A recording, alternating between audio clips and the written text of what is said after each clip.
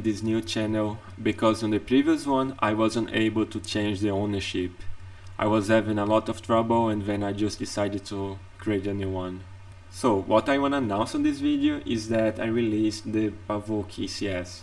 This is an ECS implementation for Python and it makes the game development a lot easier.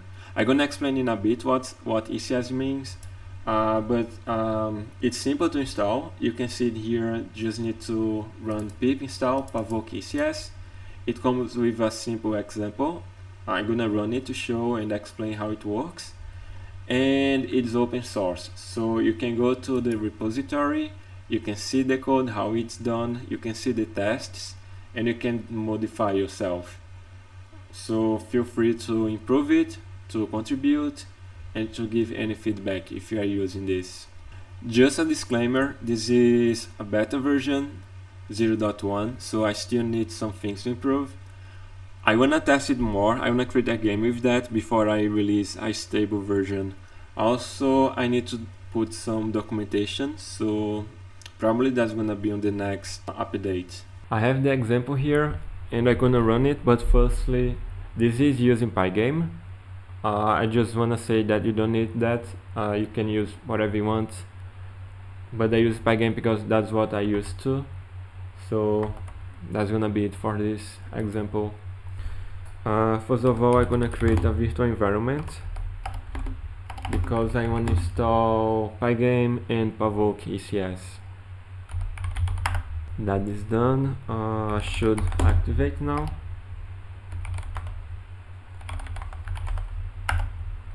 and install Py, Pygame and Pavouk ECS now that I have all the setup done I wanna run the example show the code and explain how it works.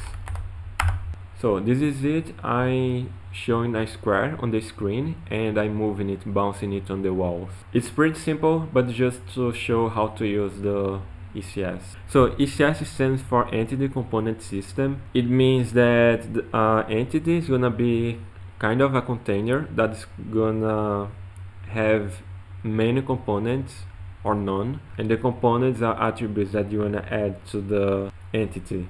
For example, I can have a player with a transform so I know the position and with a sprite so I can print some image on that position. In this case I'm not using sprite I'm using a, a pygame rect. So I need to have some color to draw the rect I need the area the transform and I need the velocity to move the square around. So these are the components they are just attributes that you can add to any component that you want and it's pretty simple and the systems are like the behavior. Uh, what, what are you gonna do with the components? What's the logic behind it? For example if I want to render I if I want to render a sprite I'm gonna need um, entities that has the transform position the transform component and the sprite component. In this case to render, to show something on the screen, as we are using Pygame Rect, I need the transform, the area and the color. So where, where is the square, what's the size of the square and what's the color. And that's it, systems are the behavior of the game. And our game, the structure is really simple. I just initiating the Pygame, I creating the main screen, and then I instantiated the uh, Pavouk ECS. Uh, self.manager equals manager. And then to run the game, I'm just gonna run the this method, run method. While it's running, I'm gonna fill the background with some color. I'm gonna handle the events I'm gonna update the systems, make it run, and I'm gonna show everything that was wrong on the screen. And all of this gonna be 6 frames per second. That's it. This is a simple, spy game. But let's go to the ECS part. So to use the Pavouk ECS, you need to import it. So from Pavouk ECS, import manager, to use the systems, you need to inherit from the base system that you can get on pavoc.cs.system import system. And everything that you inherit from system, you can treat as a system itself.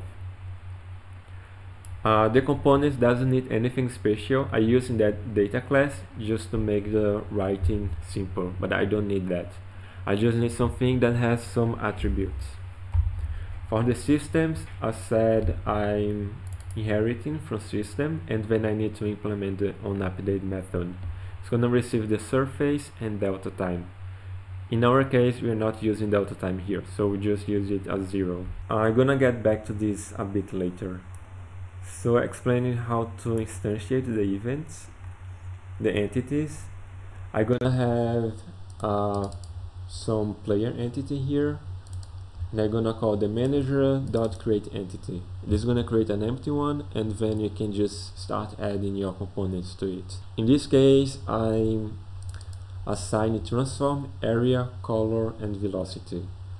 So for example here, I just say self manager dot assign the component class and the entity instance. And then I say what the what was the values of the attribute. X is gonna be the fourth column and y is gonna be the fourth row. The area is gonna be 16 by 16 the color is gonna be 200 for red for green for blue. We can change this.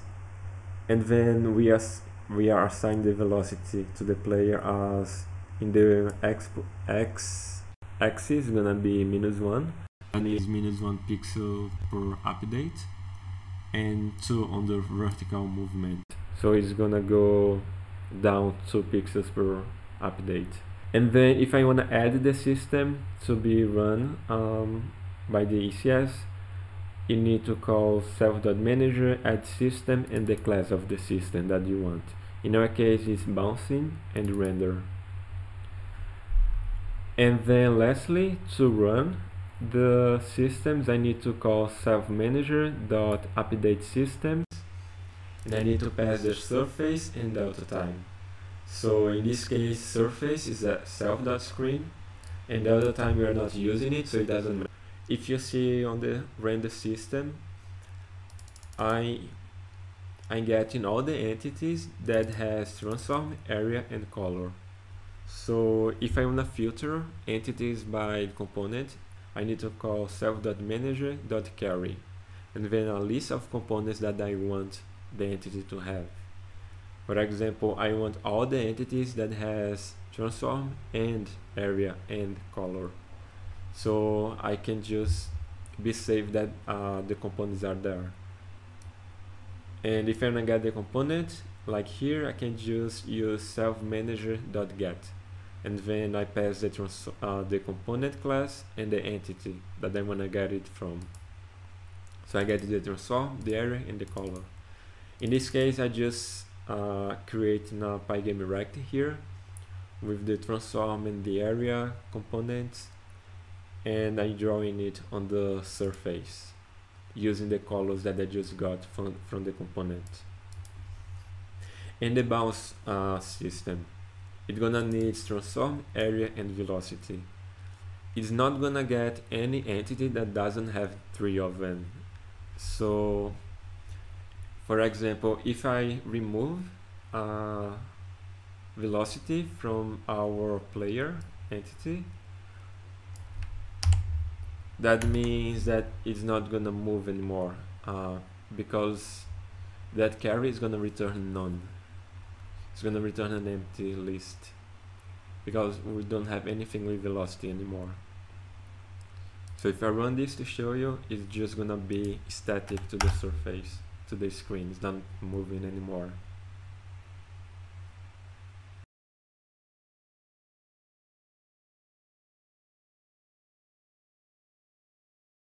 So uh, that's it, uh, this is quite simple, uh, but I want to make it simple just for an example.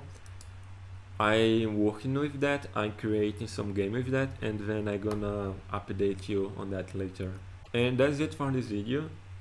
If you have some suggestion um, some feedback please let me know. I'm still working on this uh, ECS, so all feedback are welcome. If you're using this for some project, for some tests, please let me know as well.